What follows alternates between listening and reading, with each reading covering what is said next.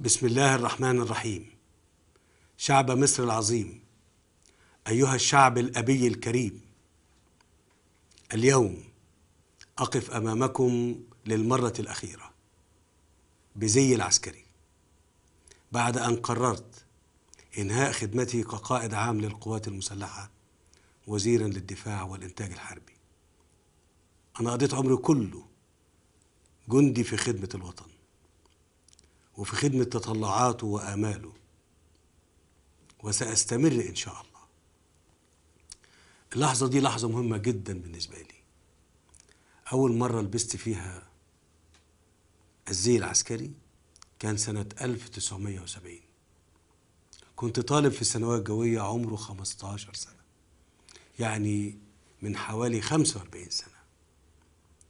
وأنا بتشرف بارتداء هذا الزي للدفاع عن الوطن. والنهاردة أنا بترك هذا الزي أيضا من أجل الدفاع عن الوطن. السنوات الأخيرة من عمر الوطن أكدت إن مفيش حد يستطيع أن يصبح رئيسا لهذه البلاد دون إرادة الشعب وتأييده. لا يمكن على الإطلاق. أن يجبر أحد المصريين على انتخاب رئيس مش عايزينه. الموضوع ده انتهى خلاص. لذلك أنا وبكل تواضع أتقدم لكم معلنا اعتزامي الترشح لرئاسة جمهورية مصر العربية. تأييدكم هو اللي هيمنحني هذا الشرف العظيم. أنا أقف أمامكم مباشرة لكي أتحدث معكم حديثا من القلب. زي ما تعودنا. عشان أقول أنني أمتثل لنداء جماهير واسعة من الشعب المصري. طلبت مني التقدم لنيل هذا الشرف.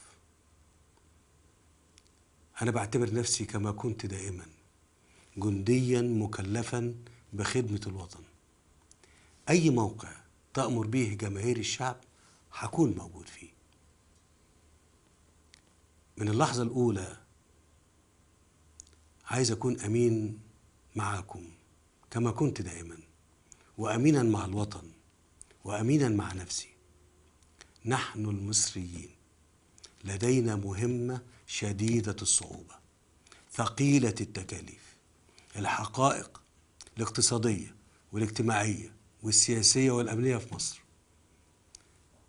سواء اللي كان قبل ثورة 25 يناير أو اللي تفاقم بعد بعدها حتى ثورة 30 يونيو. وصل إلى حد لابد أن يكون فيه مواجهة أمينة وشجاعة لهذه التحديات. عايزين نكون صادقين مع أنفسنا. بلدنا مصر بتواجه تحديات كبيرة وضخمة واقتصادنا ضعيف. في ملايين من الشباب بيعانوا من البطالة ومفيش ليهم عمل في مصر. ده أمر غير مقبول. كمان في ملايين من المصريين بيعانوا من المرض ولا يجدوا علاجا مناسبا. ده أمر آخر غير مقبول. مصر البلد الغنية بمواردها وبشعبها بتعتمد على الإعانات والمساعدات. ده أمر غير مقبول. المصريين يستحقوا حياة أفضل من كده. يستحقوا إنهم يعيشوا بكرامة ويعيشوا بأمن ويعيشوا بحرية ويكون لهم الحق في الحصول على العمل والغذاء والتعليم والعلاج والمسكن كل ده لازم يكون في متناول ايد كل المصريين. إحنا أمامنا كلنا كمصريين مهام عسيرة. لابد من إعادة بناء جهاز الدولة اللي بيعاني من حالة من الترهل بتمنعه من النهوض بواجباته. القضية دي لابد إن إحنا نواجهها بكل الحزم عشان هذا الجهاز يستعيد قدرته يسترد تماسكه يصب- يصبح أو يصبح وحدة واحدة تتحدث بلغة واحدة. كمان عجلة الإنتاج يجب أن تعود إلى الدوران في كافة قطاعات الدولة بكل قوة. ده لإنقاذ الوطن من مخاطر حقيقية بيمر بيها. لابد من إعادة ملامح الدولة وهبتها.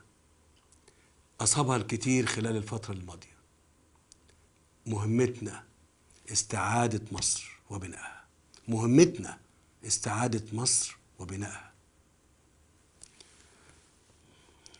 ما شهدناه خلال السنوات الأخيرة سواء على الساحة السياسية أو الإعلامية داخليا أو خارجيا. جعلت من هذا الوطن في بعض الأحيان أرض مستباحة للبعض. آن الأوان أن يتوقف هذا الاستهتار وهذا العبث. هذا بلد له احترامه وله هيبته. هذا بلد له احترامه وله هيبته. ويجب أن يعلم الجميع إن دي لحظة فارقة. الاستهتار في حق مصر مغامرة لها عواقب. ولها حساب. مصر ليست ملعبا لطرف داخلي أو إقليمي أو دولي ولن تكون. نحن لا نتدخل في شؤون الآخرين ولن نسمح للآخرين بالتدخل في شؤوننا. أنا بعتقد أن إنجاز برنامج خريطة المستقبل اللي وضعتها القوى الوطنية الأصيلة كان المهمة العاجلة أمامنا. وعلى طريق تنفيذ هذه المهمة نجحنا بحمد الله. في وضع الدستور. ونحن الآن نتخذ الخطوة الثانية بإجراء الانتخابات الرئاسية التي يعقبها الانتخابات البرلمانية بإذن الله. عايز أكد أن اعتزام الترشح لا يصح ولا يجوز أن يحجب حق الغير وواجبه إذا رأى لديه الأهلية أهلية التقدم للمسؤولية هيسعدني أن ينجح أيا من يختاره الشعب ويحوز ثقة الناخبين. أنا بدعو شركاء الوطن أن يدركوا أننا جميعا أبناء مصر. نمضي في قارب واحد. نرجو له أن يرسو على شاطئ النجاة.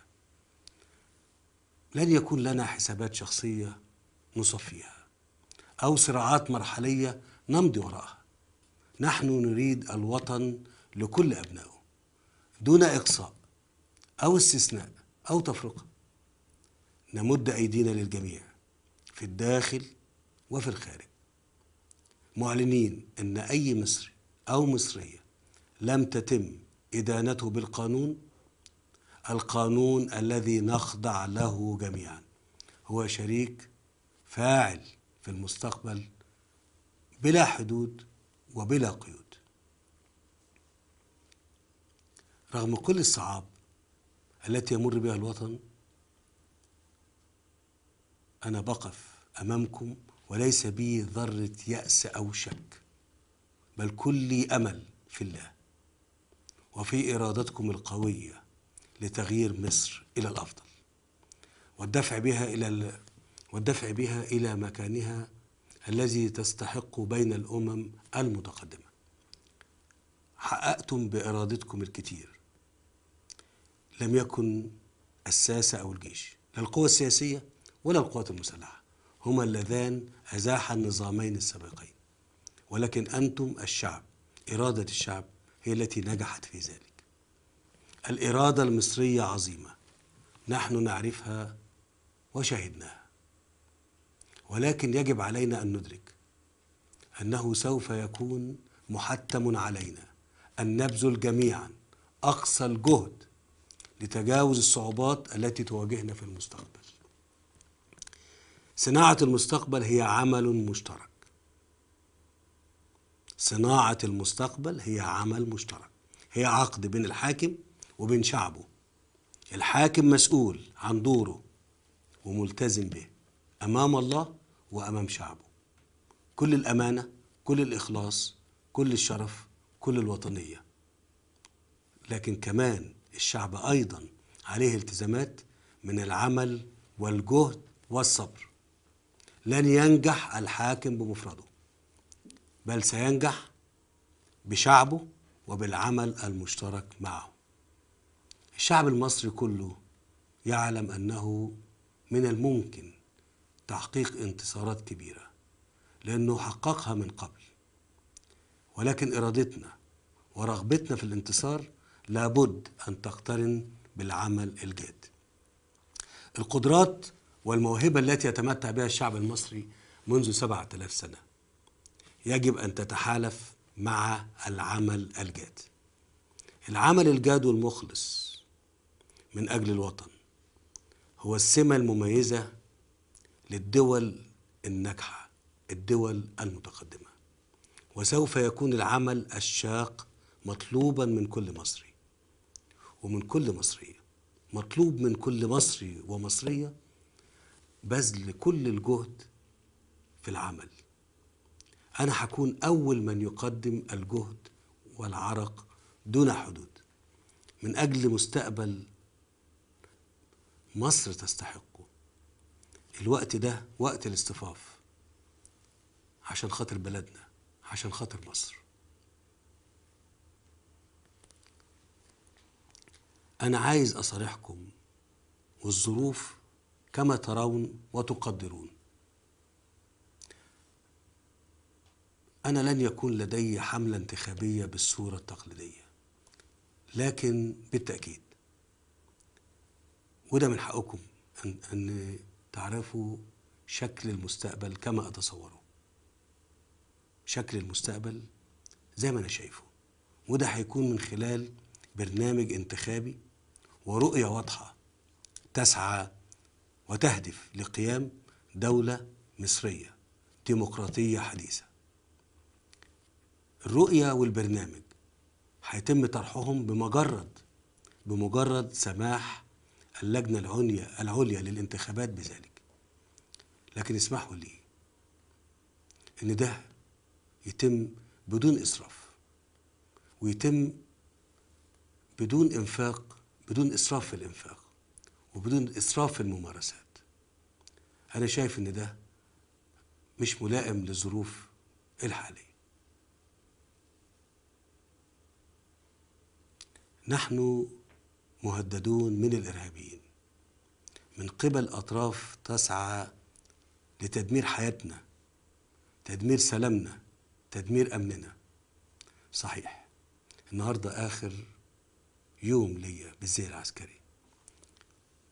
لكنني سأظل أحارب كل يوم من أجل مصر الخالية من الخوف من أجل مصر الخاليه من الفزع والإرهاب.